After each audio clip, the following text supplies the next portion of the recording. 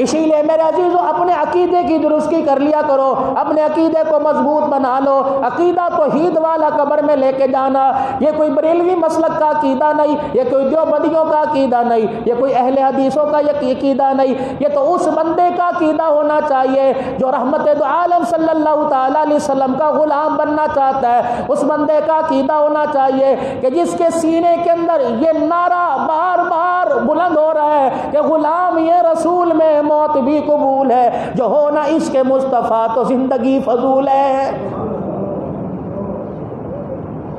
नबी की सच्ची गुलामी का इजहार अल्लाह की तोहीद से होगा। जितना तोहीद का दामन मज़बूत करोगे। हमने तोहीद को उल्टे मामले में ले लिया। हमने तो तोहीद समझी के पीरों की मुखालफत, हमने तो तोहीद समझी वलियों की मुखालफत, हमने तो तोहीद समझी के दरबारों पर जाने से, अल्लाह वालों के मज़ारात पर जाने से मना किया। खुदाए पाक की कसम, ये तो तोहीद का मतलब ही नहीं।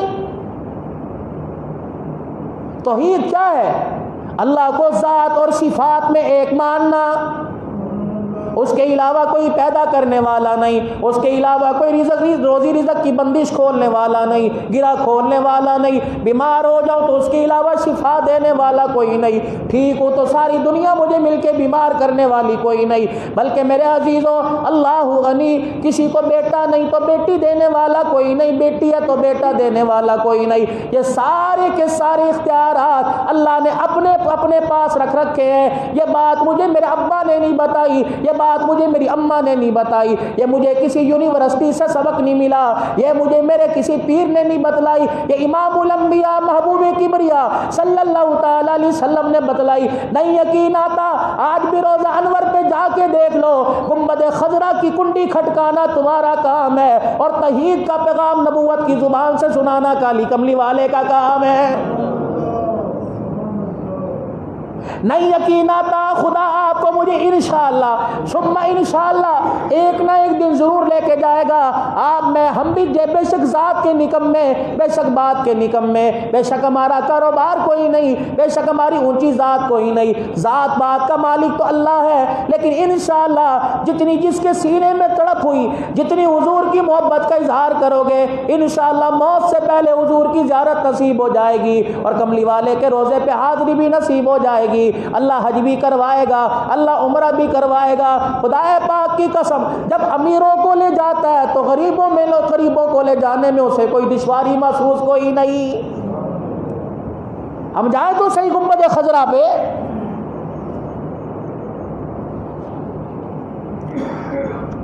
तुम्हारे रिश्तेदार अगर कोई अर्याज में, अगर जजमान में अगर मेरे अज़ीज़ हो, तुम्हारा कोई रिश्तेदार दमाम में, कोई जिद्दा में, कोई मक्के में, कोई मदीने में, या किसी मक्के के किसी शहर में, मदीने के किसी शहर में मौजूद है, जाओ जाके उसे कहना, अल्लाह तुझे उम्र की तोफीक दे, अल्लाह तुझे हज की तोफीक दे, रोज़ा रसूल सल्लल्लाहु अलैहि वसल्लम पे जाके पूछ लेना, कमली वाले, मैं पाकिस्तान वालों का एक सवाल लेके आया हूँ, आप बताओ, आपको ताइफ की गलियों में क्यों पत्थर मारे गए, आप बताओ, आपकी बच्ची को तमाचा क्यों मारा गया?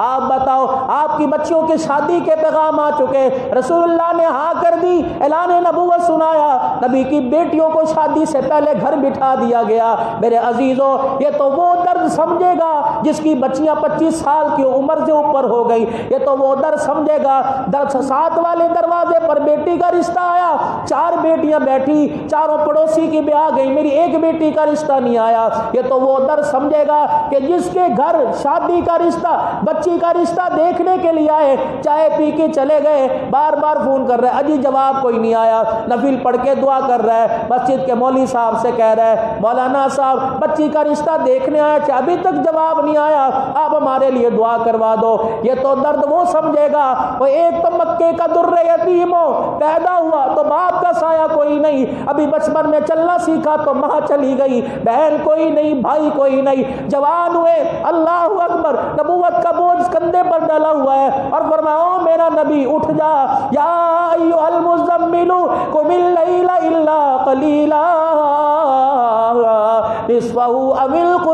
कलीला। और मेरा हबीबा, दिल को मखलूक के दरवाजे पर भी जाना है और रात को खड़े होकर मेरे दरवाजे पर भी आना है।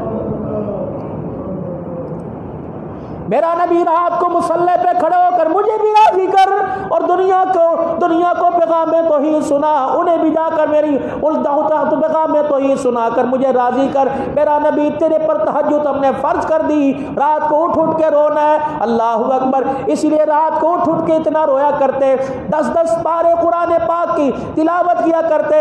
अम्मा आयशा रज़ी अल्लाह तला पैरों पर हाथ रख के रोने लग जाती। कमली वाले, अल्लाह ने इबादत का कहा, इतना तो छोड़ी का। अल्लाह अकबर जिब्राइल भी आके तसलियाँ देता, आराम कर लिया कर। कटन राता मुसल्ले ते कलोते पैर सुज जावल। खुदा आखे, न जागित ना इबादत है जई होवे। तसलियाँ मिल रही हैं। कभी कहा जा रहा है, मेरा नबी तेरी तेरी ज़िंदगी की हमें कसम है। ये रातों को उठ उठ के दस दस पारे क्यों पढ़ रहे हैं फरमाओ, मेरे उम्मतियों, तुम रातों को दूध सोडा पीकर, तुम रातों को लसियाँ पीकर सो ना जाना, तुम भी बेखबर ना हो जाना। रात का खाना इतना खाना कि तुम्हें तहजद में उठने में मुश्किल ना हो। ये मुल्तान है, तुम्हारा बिल्कुल करीब पड़ा है।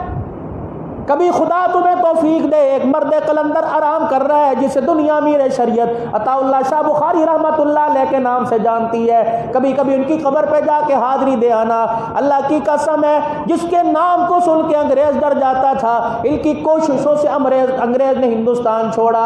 अमीर शरीयत अताउल्ला शाह बुखारी रहमतुल्लाह का आखिरी वक्त आया वसीयत नामा लिखने के लिए कागज़ कलम लेके बैठ गए और फरमाया, ओ मेरे बच्चे अबू जर बुखारी, मेरे जनाजे जनाजे में हाफिजुल हदीस, एक लाख हदीसों का हाफिज। अब्दुल्ला दरखास्ती रहमतुल्लाह भी आएगा।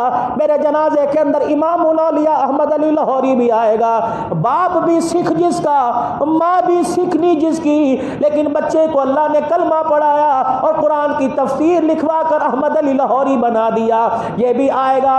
मेरे जनाजे में हज़रत हाले जी वाले भी आएँगे, मेरे जनाजे के अंदर हादी दिल पूरी भी आएगा। बड़े बड़े लोग मेरे जनाजे के अंदर आएँगे। और मेरे बेटे अबू सर, पहली सफ़ों में जो लोग खड़े होंगे, अल्लाह वाले खड़े होंगे, सूफिया इकराम खड़े होंगे, उलामा शेखुल हदीस खड़े होंगे। और मेरा बच्चा, जनाजा पढ़ाने के लिए मुसल्ला खाली देखेगा, जल्दी से मेरे मुसल्ले पर आके खड़े हो जाना, मेरे जनाजे पढ़ाने वाले मुसल्ले पे खड़े हो जाना।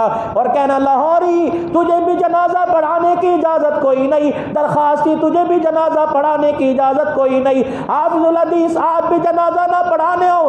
हज़रत हाले जी शरीफ दिलपुर शरीफ वालों, आप भी जनाजा पढ़ाने ना हो। मेरा अब्बा वसीयत नामा लिख के गया कि मैं मरूँ, मेरा बेटा बुज़ुर्ग खफारी जनाजा पढ़ाए। मैं कोई वली कोई नहीं मैं शेखुल हदीस कोई नहीं। पता नहीं मेरे अब्बे को किसने कह दिया कि मेरा बेटा अबू जर गफ्फारी रात को तहजद की नमाज़ में रोज़ाना दस पारों की तिलावत करता है।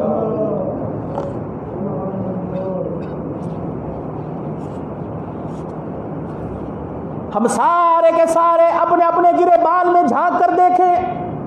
या यही बैठे थोड़ी देर सोच के देखें, अमीर शरीयत का जनाजा तो बेटा पढ़ा गया। अल्लाह अकबर, तेरा मेरा जनाजा कौन पढ़ाएगा? कहाँ से मैं ढूंढ के लाऊँगा? जिसकी असर की सुन्नतें कभी कजा न हुई हो, कहाँ से मैं ढूंढ के लाऊँगा? जिसने तहजद की नमाज़ कभी ना छोड़ी हो, कहाँ से मैं ढूंढ के लाऊँगा? जिसने ज़िंदगी में बहू, बेटी, बहन, बीवी, माँ के अलावा छठी औरत को ना देखा हो, कहाँ से मैं ढूंढ के लाऊँगा जिसने सारी ज़िंदगी हराम का लुकमा ना खाया हो और खुदा की कसम में जनाजा पढ़ाने वाला कहाँ से लाऊँगा?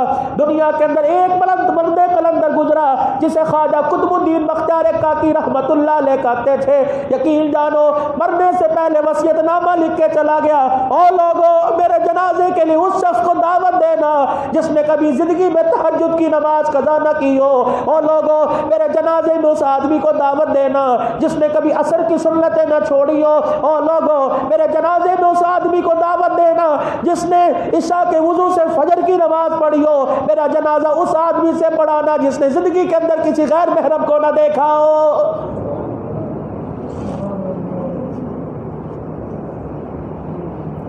मुझे बताओ हमारे जनाजे कौन पढ़ाएगा? हमें कलमे वाली चादर तो मिलेगी, काफूर और मुश्क की धुनी तो मिलेगी, हमें लक्सा बुल का गुसल तो मिलेगा, हमारी कब्रों में अरके गुलाब तो छिड़का जाएगा, हमारे जनाजों में कलमा शहादत का नारा तो बुलंद होगा, कंधा देने वालों की तादाद ज़्यादा होगी, लोगों का हजूम ज़्यादा होगा, लोगों की कसरत ज़्यादा होगी, अगर काश परवरदिगार यह ऐलान कर दिया, जब ऐलान जब जनाजे के अंदर मौली साहब नमाज़ के अंदर जनाजे में पढ़ेगा और आप भी पढ़ोगे अल्लाह व